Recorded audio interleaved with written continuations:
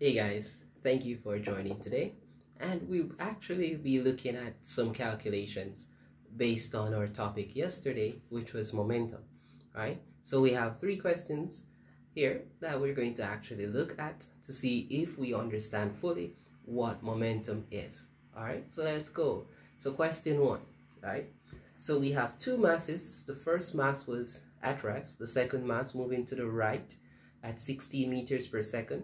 Then it caused the first mass to move at an angle to 37 degrees and the second mass moved actually vertically downwards at uh, unknown velocity v and the question asks us to find what that v is right? So because we now moving in both planes in this question we have to use our x and our y plane right now because the question only asks to find the velocity of the first ball which the first ball actually tells us it's going vertically down right? So because of that we only will be able to or easily use just the y plane right? Because the v for the first ball after collision only acts in your y plane because it's vertically downwards right? So we only going to focus in on our y plane right so let's go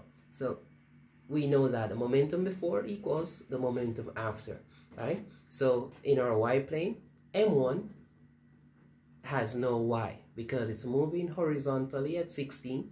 So therefore m1 would be 0, right? And m2 was actually at rest, so it also will have a 0 velocity in your y plane.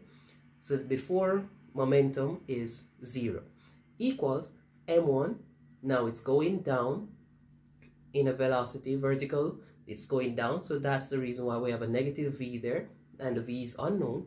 Plus m2 now it's moving right? And its velocity in your y plane right would be opposite so it's v2 sine theta right? So we substitute our values. So m1 is 1 so it's 1 times negative v which is just negative v plus m2 is 4 times our velocity 5 times sine 37 degrees angle, right? So we multiply 4 times 5 times sine 37, we get 12.04, right? And it's a plus. So we take that 12.04 to the negative, to the opposite side becomes a negative, right? So both negative v and negative 12.04 is present. So we divide by negative 1 and we get v to be 12.04 meters per second, right? So the diagram already showed that the 12.04 velocity is going down, right? So our velocity is just 12.04 meters per second for this question. So we notice we did not use the x plane because there, there is no x component to this velocity, right? So we don't need the x plane. Alright, let's go to question 2. So in this case, we have a falcon, right? that is actually moving down at 45 degrees to actually catch another bird, right? The pigeon, right? So they both now, once the falcon catch the pigeon, they both move together, right?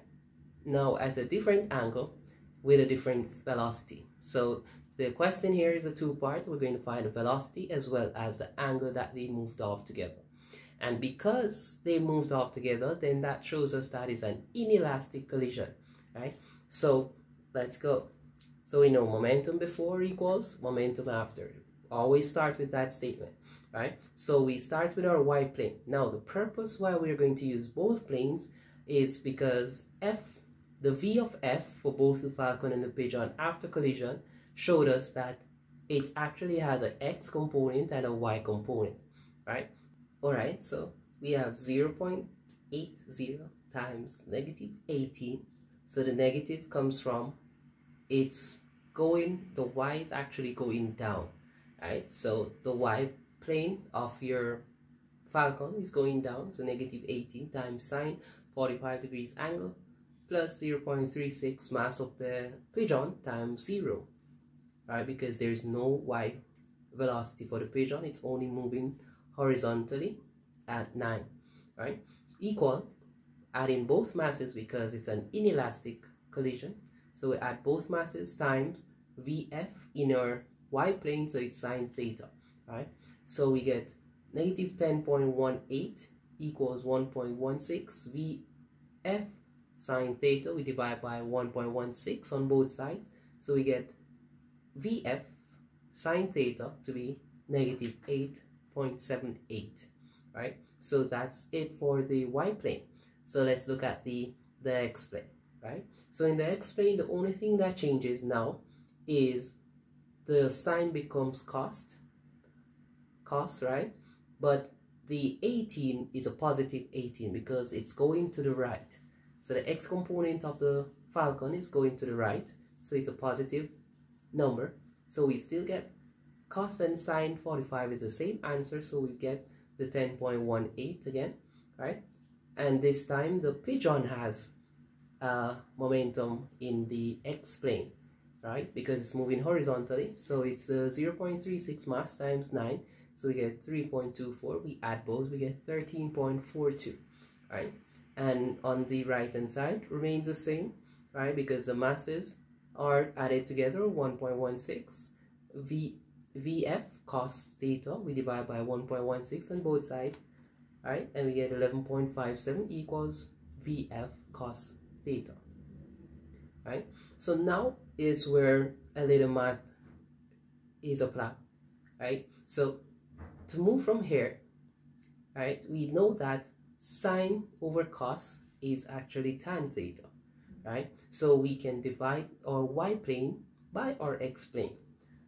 So if we divide y by the x plane, right, then we get the 8.78 divided by 11.57 to get 0.759 negative because the 8.78 is negative, right? And VF over VF we cancel out.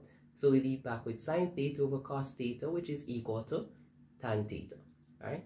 So tan inverse to find theta, tan inverse of negative 0.759 is negative 37.20 degrees. Now the negative there means that it's a, actually in a plane that the value is negative, right? So remember that if we learn from math, we have four quadrants, right? So it's actually moving in our fourth quadrant. That's the reason why the theta there is negative, right? But to just write your final answer, you ignore the negative and just put 37.20 degrees, right? Now we have the angle. Let's move to finding the value of the VF. So because we have both an X and a Y plane for the VF value, we have to use both X and Y plane equations to find the full VF value right so we use first the y-plane equation which is 8.78 equals vf sine 37.20 right? Because that's the angle right? And we get vf in our y-plane to be 14.51 meters per second right? We do the same for the x-plane. It's 11.57 equals vf cos 37.20 we get vf to be 13.18 meters per second. So now we have the VF for your X plane and your Y plane, right?